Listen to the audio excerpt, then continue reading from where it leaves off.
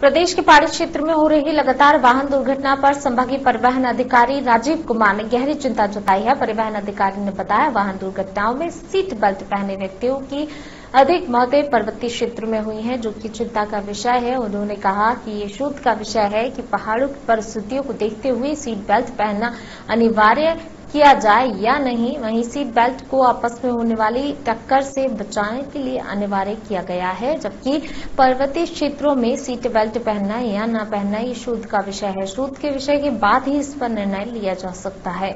इसके साथ ही taxi maxi union के जिलाध्यक्ष कोतवाल सिंह ने बताया कि पहाड़ों में सीट बेल्ट को अनिवार्य नहीं रखा जाना चाहिए। कोतवाल ने कहा कि इससे पूर्व में भी वह पूर्व मुख्यमंत्री हरीश रावत से भी मुलाकात कर इस संबंध में उन्हें अवगत करा चुके हैं। उन्होंने कहा, निश्चित तौर से पर्वतीय क्षेत्रों की भौगोलिक परिस्थितियों को देखते हुए पहाड़ों में अनिवार्य सीट बेल्ट को बैन कर देना चाहिए, क्योंकि जो व्यक्ति सीट बेल्ट पहनकर वाहन दुर्घटना का शिकार हुए उनमें अधिक लोगों की मौत हुई है, जो एक चिंता का विषय है, जिस पर प्रदेश सरकार को गंभीरता से विचार करना चाहिए।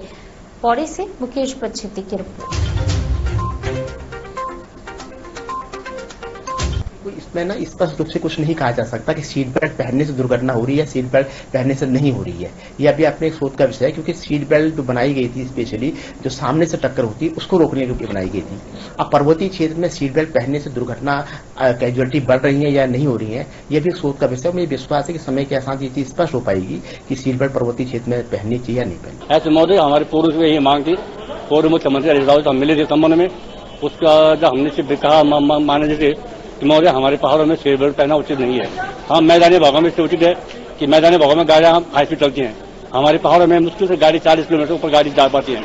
लेकिन फिर हमारी जो परसों हादसा हमारे परसों कार में, एक कार गई।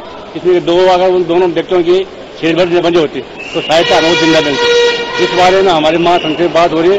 हम महासंघ का प्रतिनिधिमंडल मान्य मुख्यमंत्री मिलेगा। इस संबंध में सर सीट बेल्ट हमारे पहाड़ों में लागू नहीं होनी चाहिए।